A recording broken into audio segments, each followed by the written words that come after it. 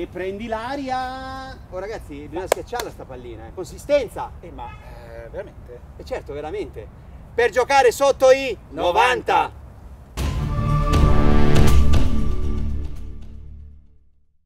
Ragazzi, per giocare sotto il 90 una delle cose importanti per il gioco dei ferri è sicuramente la consistenza, quindi andare a colpire bene la palla.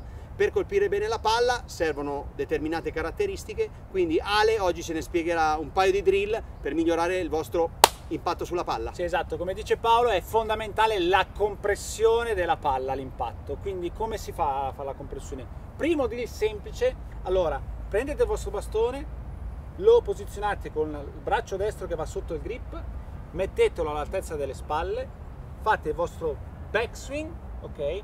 Nel downswing prima parte il ginocchio sinistro e i fianchi, poi ruotano i fianchi e poi le spalle, sentite che la spalla sinistra va all'impatto. Vedete come la faccia del bastone rimane square, dritta perfetta, in corrispondenza con la spalla destra. Questo è un ottimo drill da fare, diciamo, prima di ogni colpo di pratica, una, un pre-routine per okay. sentirsi belli ruotati esatto. all'impatto. Se invece poi volete sentire il contatto solido con la palla, c'è un altro drill bellissimo che è questo.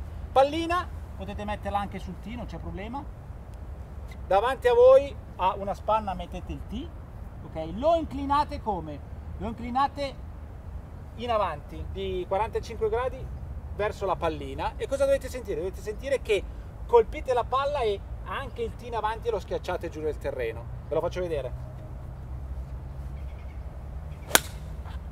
grande colpo palla zolla l'avete visto che la zolla è partita 10 cm dopo la palla quindi è un impatto perfetto maggiore compressione quindi questi due esercizi da fare assolutamente in campo pratica. Assolutamente, miglioriamo la compressione, miglioriamo lo smash factor, la palla parte più forte, fate più distanza e manterrà anche molto meglio la, la direzione e lo spin per aria.